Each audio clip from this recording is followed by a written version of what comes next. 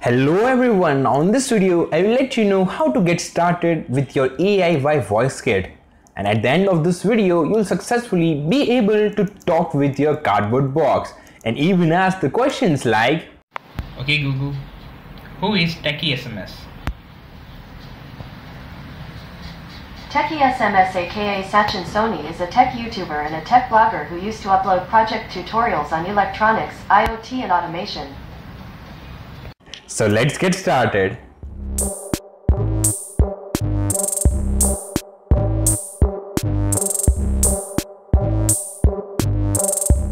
First of all, you'll need a SD card and a SD card reader.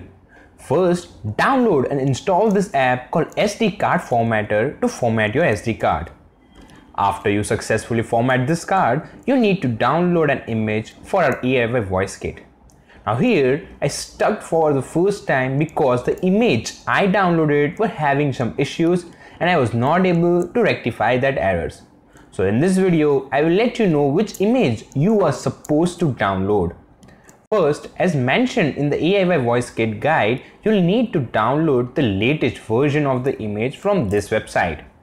But in my case, it didn't work out. I downloaded the latest image and flashed it into my SD card with the help of this app called Etcher. In this app, you need to first select the image downloaded, then select the SD card port and click on the flash button. After flashing the latest image, when I booted the Raspberry Pi, it was showing the errors of driver not installed. I even tried to install the driver but still I didn't get success in this. I was totally sucked up. So next day I tried installing the earlier version of the image.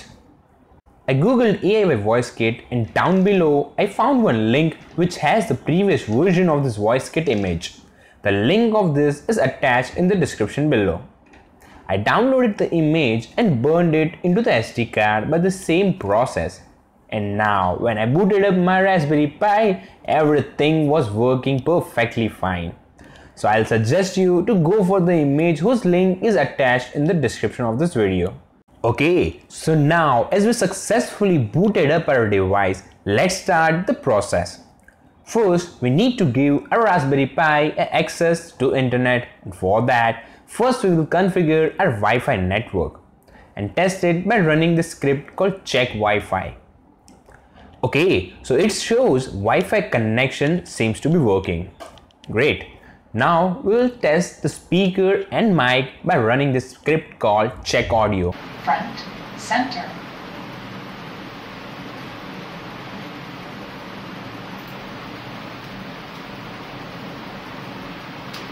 Testing 1, 2, 3. Testing one, two, three. Okay, so both mic and speakers are working perfectly. Now let's just configure our Google Assistant.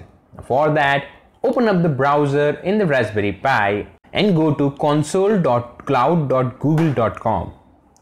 Now here, you need to log in with your Google account and if you don't have one, then you need to first create it.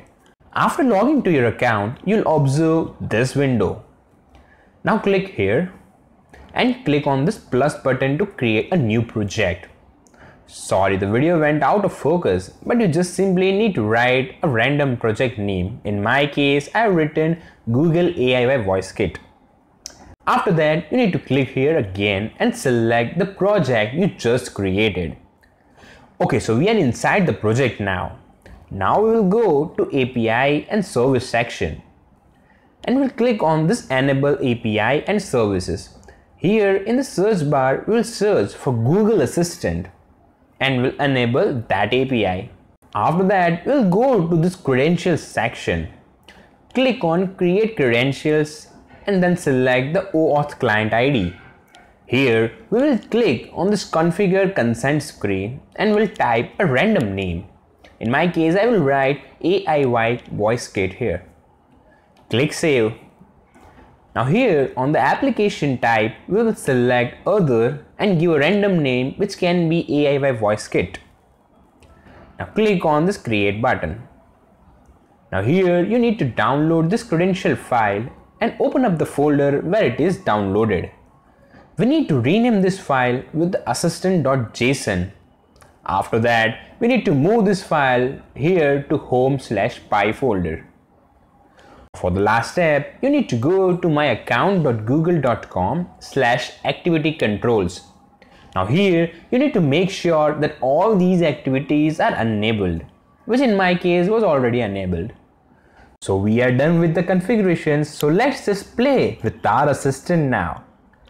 Go to desktop and click on the Start Dev terminal. Now here is a hint to run one sample program, so let's just begin with this example only. Pressing enter, it will redirect you to a web browser asking permission of using Google Assistant through our account. So choose your account and click on allow. So you're ready to play. Hey Google, what's the temperature outside? In Ahmedabad right now, it's 43. Okay Google, who is the President of India? The President of India is Ramnath Kovind. Okay Google, what's the age of Prime Minister of India? Narendra Modi is 67 years old. Likewise, we have one other example which will replace this trigger keyword OK Google to press of the button. So let's just run that example.